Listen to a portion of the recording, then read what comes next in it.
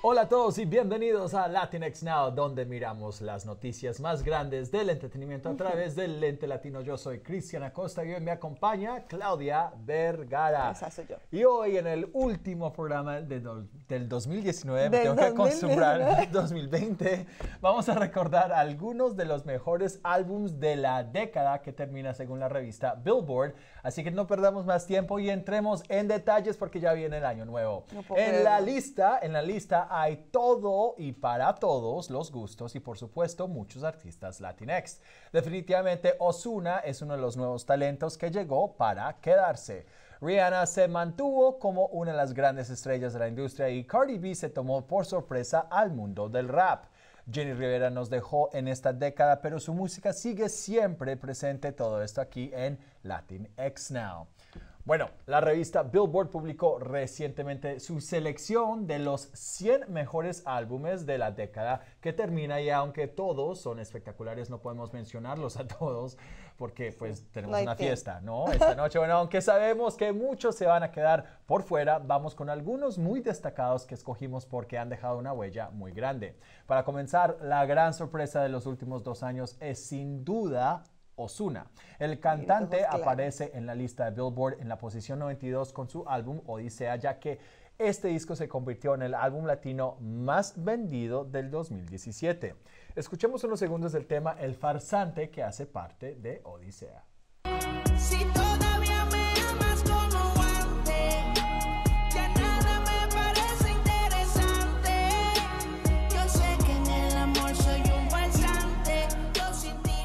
Para mí Osuna, o sea, lo hace todo. Para, él saca una canción y es como que boom, el hit, el hit y el hit.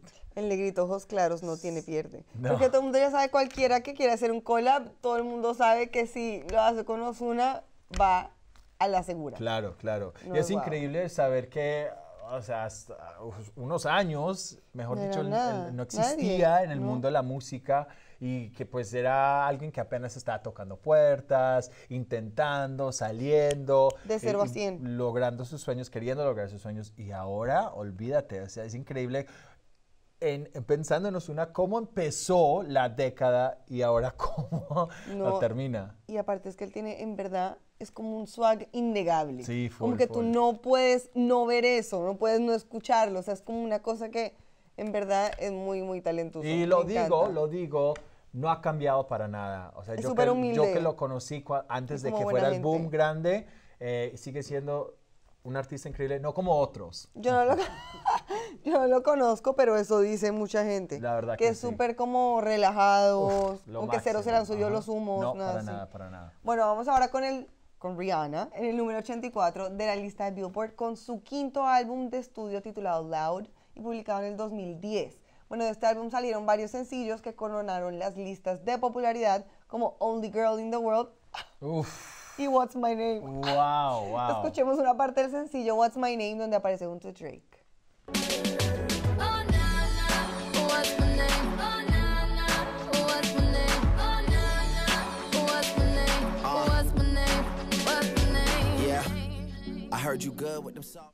No, yo, yo al salir de aquí me voy a poner a escuchar Apple Music y eh, todas las canciones de Rihanna porque Mira. eh, es, es- es el top. Y yo creo que esta es como que la época. Esta ¿Cierto? fue la época Ajá. de Rihanna, como que, que fue con toda. Claro. Fascinante. Yo me acuerdo con la canción Only, Only Girl in the World eh, eh, y Where Have You Been All My Where Life, have you ¿cierto? been? Eso en una y- discoteca, eso era Pero ok, fiesta. entonces eso es lo que te iba a decir. Yo me acuerdo cuando escuché esas dos canciones, yo dije, bueno, estas canciones las quiero escuchar, las quiero escuchar en una, Una discoteca en, en Europa. No sé por qué dije Europa, pero dije, yo Sí, quiero estar en preciso. Europa escuchando.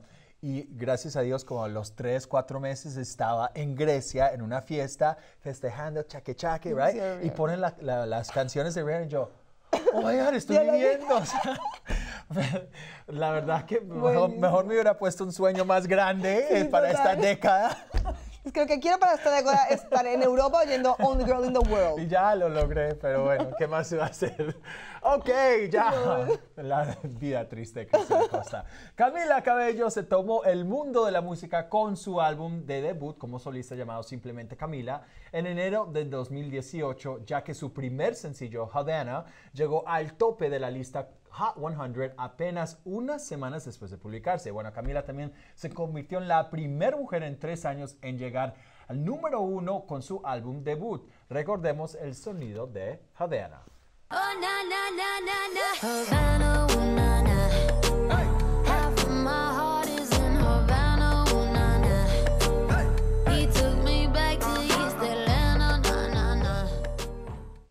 Me encanta Camila Cabello. Me fascina. Y esa canción me parece que es como. Yo no sé, me parece muy que uno la puede poner como donde sea y es como chill. Y no, Havana y no solamente donde sea, cualquiera que lo escuchaba era como que, "Mm, esta Ajá. canción tiene algo. Tiene como una un vibe Claro, como. porque yo me acuerdo que hasta mis primitos chiquitos de cuatro años eran cantando la, Mm, la canción, canción. Y hasta, digamos, mi mamá y mi abuela eran como que, ay, esa canción de, de, Despega 80. de Habana, esa es buenísima, ¿quién es? ¿Quién es? Entonces hay mucha gente que en realidad descubrió quién era Camila Por Cabello canción. por esa canción, no solamente por Fifth Harmony, donde obviamente muchos fanáticos como que la siguieron, pero ella ahí se convirtió como en ya como una solista reina, ella misma, ¿no? Ay, me fascina. Sí, no, full, full. Es como que puro Latin Power. Sí, es verdad. es como que lo que es una, na- que uno piensa en una latina, como que Camila Cabello. Y, no, y además, o sea, todo lo que ha crecido últimamente con Shawn Mendes, porque tuvieron la canción I Know What You Did Last Summer, ¿verdad? Y ahora esta que es Señorita. Y es otra cosa, volviendo al tema de, de lo latino, su canción Havan- Havana, Havana, es como obviamente muy Cuba. latino, o sea, no puede ser más latino que Obvio. tu- Havana. Y después ahora con Señorita, entonces como que lo lleva Ella lleva el Latinex en sus venas. Exactamente, lo lleva en sus venas y eso, por eso la amo, por eso Yo la también. amo. Súper Ujú. nice. Bueno, Súper bien. y obviamente no podemos dejar de mencionar a Jenny Rivera, No. quien como recuerdan falleció en el 2012 en un accidente de aviación y pues un año antes de su muerte Jenny lanzó el álbum Joyas Prestadas, donde mezcló la música de banda con música pop, convirtiéndose en la cantante de música regional mexicana más importante de su generación. Su álbum Joyas Prestadas aparece en la posición número 72 del conteo de Billboard. Desgraciadamente la diva de la banda no alcanzó a hacer un video musical para este último álbum, pero hace poco para celebrar lo que hubiera sido el cumpleaños número 50 de la diva de la banda, sus hijos compartieron una canción nunca antes escuchada titulada Aparentemente Bien. Vamos a ver un pedacito.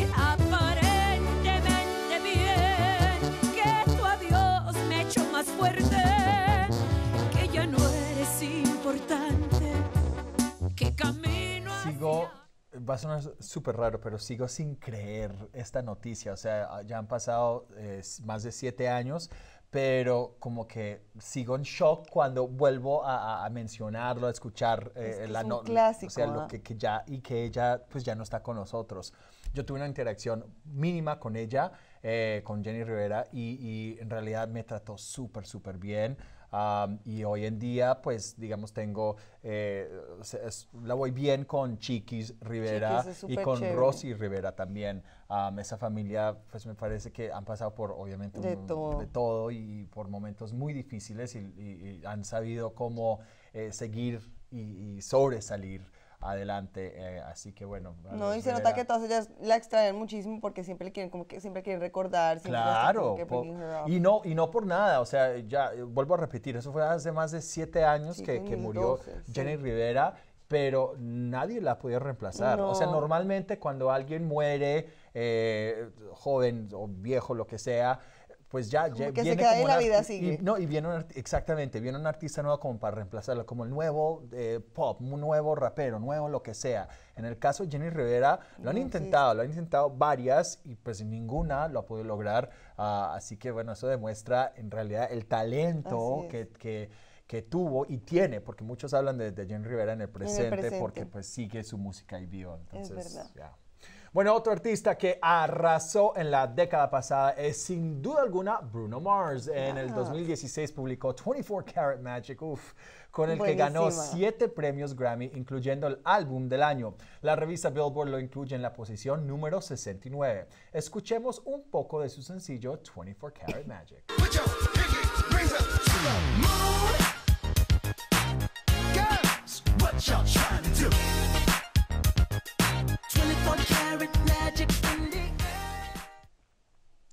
Dime si tú has visto a alguien que sea más cool que Bruno Mars. Yo, Cristian Acosta. O sí, sea, hello, ok, sí, hello. compárate con Bruno Mars, ya quisieras tú. No, pero en realidad te digo que Bruno Mars me parece como uno de los.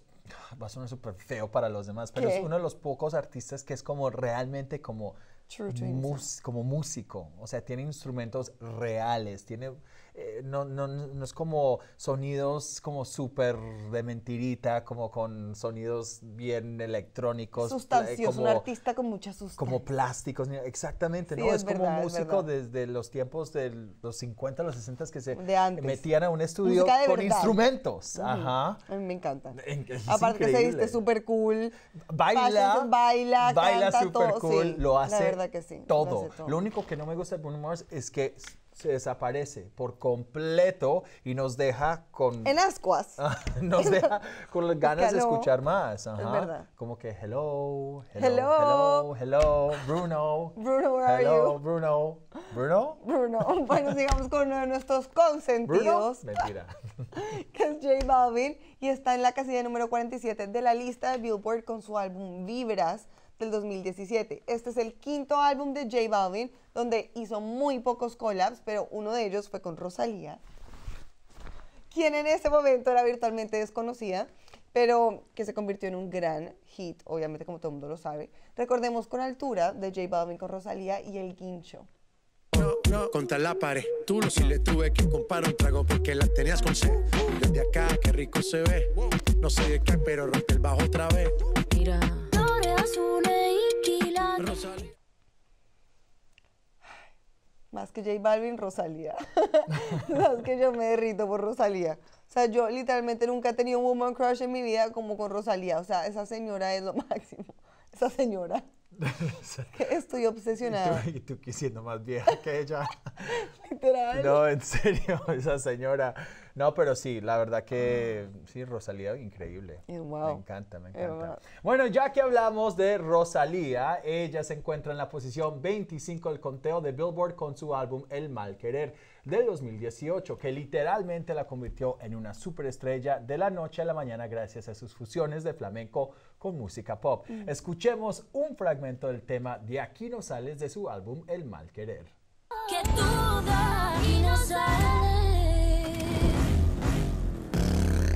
Mucho más a mí me duele. Todo, lo que hace. todo. Todo. lo que hace, todo lo que hace. O sea, uno no Ah, puede. No. Me quitaste lo que iba a decir. todo, todo, todo lo que hace Rosalía me parece una maravilla, la es verdad que, que, es. Ella es como que de otro planeta. Yo no entiendo. Lo es, lo no es. entiendo. Tiene, es como que tiene el arte incrustado en ella. O sea, como que ella es lo que es un artista. Como que por donde la veas es un artista muy completo. Exactamente. A mí me pareció. Y bueno, también no podemos dejar de mencionar a Cardi Rosalía. B. Y me dio Ah, risa tú intentando. Yo con- traté, pero no me con esto, pues. No como- me deja subir las Ah, no. Bueno, podemos dejar de mencionar a Cardi B, quien se encuentra en la posición número 13 del conteo de los 100 mejores álbums de la década según Billboard con Invasion of Privacy. Oh, yeah. Su sencillo Bodak Yellow llegó al tope del Hot 100 y fue el primero de seis sencillos que llegaron a las listas de ventas. Recordemos un poquito de Bodak Yellow. I don't dance now, I make money move. Say I don't gotta dance, I make money move. If I see you now speak, that means I don't fuck with you. I'm a Yo me acuerdo cuando escuché esta canción por primera vez, dije, ¿quién es ¿Quién esta? es Porque hay muchos que pues sí la conocían desde antes eh, de su del programa de reality y otras canciones que habían lanzado, pero esta canción fue la primera vez que yo en serio como que dije, ok, esta, es- también. esta quién es y, y dónde puedo escuchar ¿De dónde más, salió? Ajá, de dónde salió. Y cuando me enteré que era latina, yo dije, bueno, ya, ya, por favor, o sea, gracias, gracias. Me encanta su actitud, su forma de ser. Eh, es más, aquí en el programa hablamos seguido, seguido de ella. ah, y, y, Que eh, toca, toca. Y la verdad que ¿Cómo sí. no? Y no, sí, pero, siempre hay que hablar también. pero Cardi B o sea, corría el riesgo de ser un one hit wonder, no por Sí, nada, por total. la canción, eh, precisamente por ahora quiero ser tan, tan grande. Cuando, una, cuando la canción es tan grande así, uno corre el ries- el riesgo de ser ya one hit wonder y ya, bye bye. Sí, de que ninguna más te vaya a pegar. así Exactamente, que nunca más. Pero Cardi B lo convirtió. Y yo me acuerdo cuando que tuvo como cuatro hits a la misma vez en el top 10, en el top 10 de, de la lista de Billboard. Y yo era como que, no, no, no, Cardi B. Es que no, no, no, ya, no. es- mejor dicho, Otro yo preocupado por ella, ella. Gracias. Bueno, para, para los que se preguntan cuáles son las primeras posiciones, les contamos que en el número 2 está Beyoncé con el álbum Lemonade de 2016. ¿Se acuerdan cuando sacó eso de la nada? wow, o sea, el surprise, surprise drop. Fue el primer esos. surprise drop, creo. Y el número 1 es Kanye West con My Beautiful Dark Twisted Fantasy del 2010. Increíble que la el álbum número uno fue el de 2010, quiere decir que en estos 10 años nada, Yo o no sea, lo puedo creer que ya se acabó el año. El de- la década. La década. La década, No Claudia. Bienvenida, nada. bienvenida al 2020. Bueno, eso es todo por este año. Que pasen una noche muy feliz y que ¡Feliz año! El 2020 con el pie derecho. No se olviden de suscribirse a nuestro canal. Empiecen el año súper bien. Suscritos a nuestro canal, ajá, en YouTube y seguirnos en nuestras redes sociales, arroba Latinx Now. Bueno, que nosotros les seguiremos trayéndoles lo último del mundo del entretenimiento y mucho más, muchísimo más. Muchísimo y más. mucho más y más. Bueno, mañana nos vemos de nuevo con más noticias aquí en Latinx Now. Chao, por now, nos vemos el próximo año. O sea, Chao, mañana. now. Ay, Sí, qué mañana, el próximo año. Bruno.